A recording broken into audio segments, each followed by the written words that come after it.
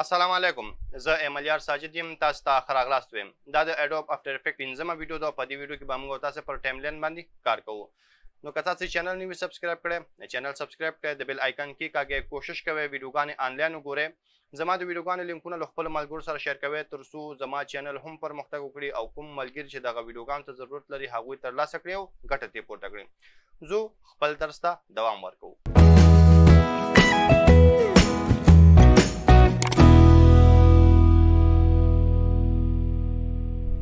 نو راغلم ما اډوب افتر افیکټ خلاص کړي تاسو به خپل پروګرام خلاص کړئ په دې ټولو شیانو باندې مونږه کار کړو په دې سره بلد شوی وو راځو خپل کوم فوټیج چې دی هغه دلته امپورټ کو ترڅو پرې کار وکړو نو زه دلته ډبل کلیک کوم ما سره چې کومه ډیټا ده عکسونه دي ویډیوګان دي هغه ټول زه انتخابوم امپورټ باندې کلیک کوم نو ما هغه ټول به دلته ما سره امپورټ شي اوس غواړو نیو کمپوزیشن جوړ کړو نو په دې باندې کلیک کوو دینه وروسته دلته تاسو کولی شئ هغه ته نوم ورکړئ زه هر څه بای ډیفالټ پرېږدم دلته وخت هم تیار لس سکنډه ورکول شوی هغه هم همدغسې پرېږدم اوکې باندې کلیک کوم نو ما سره کمپوزیشن جوړ شو. اوس غواړو مونږ کومه کس وي یا ویډیو وي هغلته ټایملاین ته راولو. د ټایملاین ته راوستلو لپاره مونږ سره څو طریقې دي لومړی تاسې که غواړی ویډیو وي که عکس وي هغه یوې مخصوصې ساحې ته دلته راولی نو تاسې کولی شی ډایرکټ هغه راواخلی او دلته یې چیرته ډراپ کړی مثال چې هر چیرته تاسې غواړی هماغه ساحه کې هغه فوټیج ډراپ کړی تاسو سره په هماغه ساحه کې راځي. خو که چیرته تاسو غواړئ چې تاسو دغه فوټیج بیخي د دغه کمپوزیشن منځ ته راشي یا سنټر ته راشي نو بیا به تاسو هغه را اخلي او دلته دې ساحه کې به هغه ډراپ کوي کله چې دلته ډراپ کړئ نو تاسو که کوم عکس وي یا ویډیو وي هغه بالکل سنټر ته راځي همدا ډول که چیرته تاسو سره تیار دلته ویډیو موجود دی او تاسو غواړئ چې بل ویډیو راوړئ او دلته خپل اندازې ته په کتلو سره غواړئ چې دلته راوالئ نو بیا تاسو کولی شئ دې ځینه فوټیج راواخلئ او دې ساحه کې دلته ډراپ کړئ دلته چې ډراپ کړئ تاسو کولی شئ له دې ساحې څخه هم خپل هغه کومه ویډیو چې یا فوټیج وي هغه دلته راولې او کار پرې وکړئ دا موږ سره ټایم لاین ته د راوستلو هغه طریقه وه څرنګه چې موږ پریمیر کې وي همدا ډول دلته هم موږ سره هماغه طریقه ده کوم عکس یا کومه ویډیو چې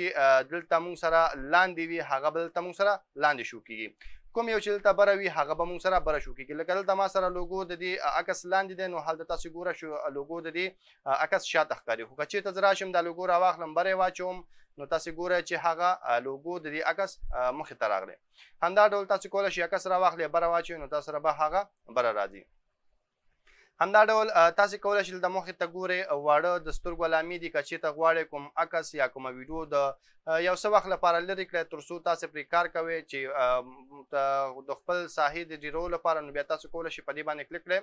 د لنډ وخت لپاره څونه چې تاسو غواړئ هغه نه وخت لپاره هغه لرې کیږي کله چې بیرته پرې کلیک کړئ نو تاسو به بیرته شو کیږي همدا ډول که لوګو هایډ کول غواړي یا هر څه چې تاسو سره موجود وي په دې چې کلیک کړئ دا هغه به تاسو سره دلته هایډ کیږي خو کله چې بیرته کلیک کړئ تاسو سره به دلته شو کیږي هر فوټو سره چې تاسو وګورئ دلته وړوکې علامه ده د دې علامې استعمال ډیر زیات دی ځکه موږ سره د دغه افټر افیکټ یا د دغه لایر یا د دغه فوټیج چې موږ دلته راوړی د دې ټول پراپرټیز همدغلته د دې دننه پروت دی مونږ چې کوم افیکټ اپلای کوو او هغه ته سیټینګ کوو د هغه سیټینګ برابرو نو مونږ دې ساحې ته راځو کله چې په دې تاسو کلیک کړئ نو دلته تاسو یو بل سیټینګ راځي چې ترانسفارم په نوم دی کله چې دا تاسو خلاص کړئ نو دلته مونږ سره څو سیټینګز دي چې یو مونږ سره انکر پوینټ دی یو مونږ سره پوزیشن دی یو سکیل دی یو روټیشن او بل مونږ سره اوپیسیټي ده دې شیانو سره هغه ملګري به بلد وي چا چې ایډوب پریمیر کې کار کړی وي او یا یې هم ایډوب پریمیر زده کړی وي. که چیرته تاسې نوي یاست او ایډوب پریمیر سره بلد نه یې نو تاسې کولی شئ زما پلی لیست وګورئ ما ایډوب پریمیر باندې کار کړی د هغه لینک په ډسکریپشن کې شته. نو راځو انکر پوینټ باندې وروسته غږیږو تفصیلي کار کوو لومړی پوزیشنز ته راځو نو تاسو کولی شئ د خپل ویډیو وي عکس وي ابجیکټ وي د هغه پوزیشن برابر کړئ. دوه برخې دي موږ سره لومړنۍ دا برخه ده او ورپسې دا برخه ده. که چېرې تا غواړه چې خپل عکس یا ابجیکټ ښي لاس ته یا چپ لاس ته موف کړی نو تاسو په دې باندې کلیک وکړئ که ښي لاس ته وړئ نو ستاسو ابجیکټ به ښي لاس ته موف کیږي که چپ لاس ته وړئ ستاسو ابجیکټ به چپ لاس ته موف کیږي همدا ډول که غواړئ چې ښکته یو پورته موف کړئ نو تاسو کولی شئ چې د دې ساحې په واسطه هغه ښکته پورته موف کړئ زه راځم دغه زما کوم عکس چې دی دا فی الحال لرې کوم تر څو لاندې چې کومه لوګو ده هغه ښکاره شي نو زه غواړم دا ښکته او پورته کړم کله چې زه راځم ښي لاس ته چپ لاس ته وړم نو ګوره تاسو دغه لوګو به راځي خو چېرته ښي لاس ته راوړم نو دا لاندې راځي پوزیشن په واسطه تاسو کولی شئ د خپل ویډیوګانو عکسونو او ابجیکټس پوزیشن سیټ کړئ همدا ډول که غواړئ چې دغه ابجیکټ غټ کړئ یا وړوکی کړئ تاسو کولی شئ سکیل څخه استفاده وکړئ د سکیل مخې ته به تاسو ګورئ یو وړوکی د زنځیر غوندې علامه ده د دې مطلب دا ده چې د دې جګوالی او پیړوالی دواړه سره برابر دي یعنې که چېرته تاسې دې هایډ ډېرول غواړه نو د دې وایډ بورډ سره خپله جوړېږي که چېرته وایډ جوړول غواړه نو هایډ بورډ سره خپله جوړېږي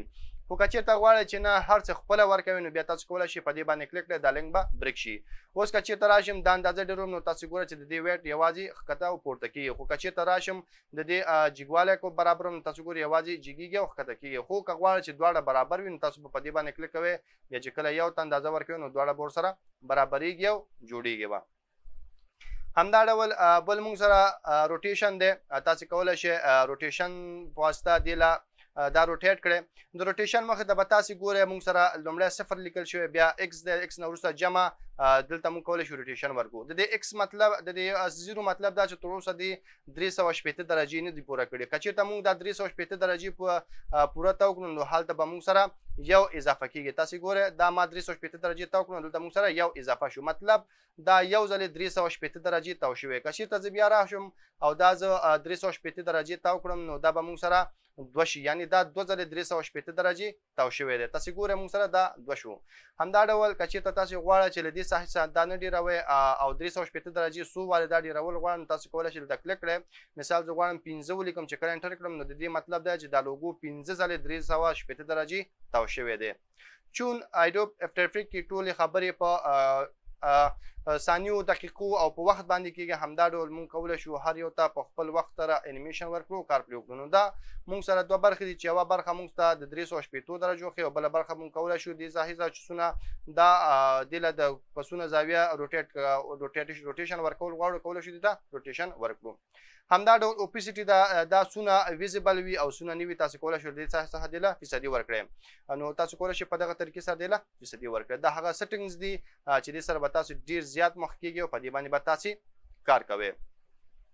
دلته موږ سره یو څه نور مهم سټینګونه دي چې وخت سره به په دې ټول باندې تفصیلی کار کوو او دا به عملی اجرا کوو چې دا موږ سره څه کار کوي دا ساحه به تاسو ته بهتره معلومه وي چې دا موږ سره د ټایم ساحه ده دا ټول مونږ سره ټایم خی چې زمونږ ویډیو یا زمونږ کمپوزیشن د سونه ټایم لپاره دی او سو ثانیو کې روان دی او څنګه کار کوي لکه څنګه چې مونږ پریمیر کې کار کوو مثال دلته راشم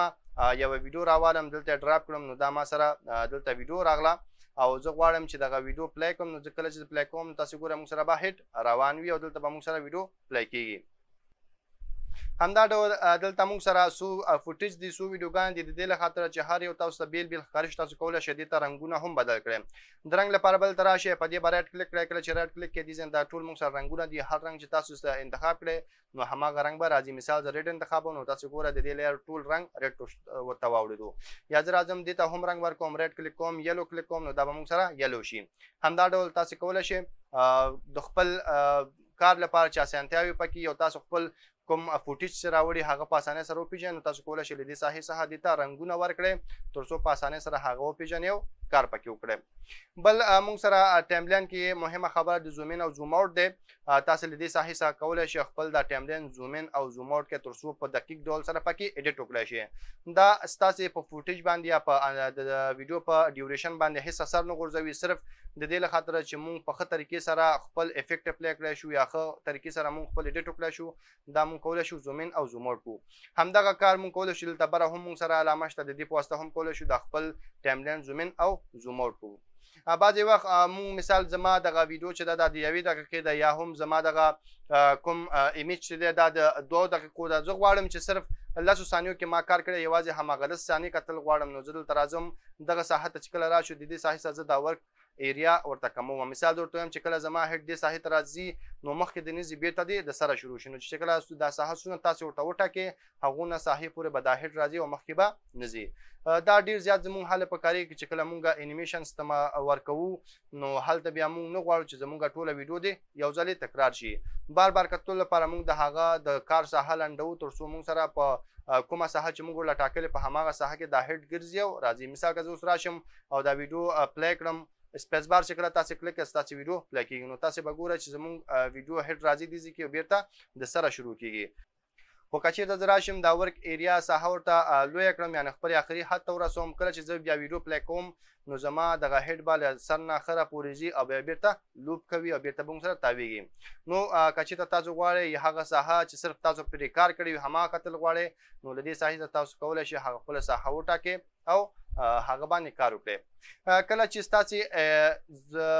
کوم کار پای ته رسیږي او تاسو غواړئ مثال ما ویډیو جوړه کړه د لسو ثانیو خو زما ټول کار په 15 ثانیو کې تر سره شو او زه غواړم چې همدغه 15 ثانیې پاتې شي نور موږ سره خلاص شي نو تاسو کولای شئ دغه کوم سپه ورک ایریا چې دا راوالې 15 ثانیو ته او په دې باندې ریډ کلیک کړئ کله چې ریډ کلیک کړئ نو دلته تاسو سره لیکل شوی ټریم کمپوز ټو ورک ایریا په دې باندې چې کلیک کړئ نو تاسو هغه نور 15 ثانیې چې دی هغه لمنځه دی یوازې همغه ساحه پاتې کی کوم ساحه چې تاسو د خپل ورک ایریا دا ساحه انتخاب کړې ورته په همغه ساحه په پاتې کیږي نور به تاسو سره لمنځه دی نو دا د اډوب افتر افیکټ هغه ټایملاین و چې مونږ خپل ټول ویډیوګانې او ابجیکټس او سوچ ایلیمنټس وی هغه دلته مونږه ایډیټ کوو د هغه مهم اپشنونه چې زموږ ډیر زیات په کاریږي او له دې څخه موږ کار اخلو له دې نه علاوه نور هم موږ سره اپشنونه شته چې څونه مخکې ځو هغومره به پرې کار کوو تر بیا چې زه راځم تاسې په خدای سپارم ما په دعاګانو کې یاد ساتئ د خدای پامان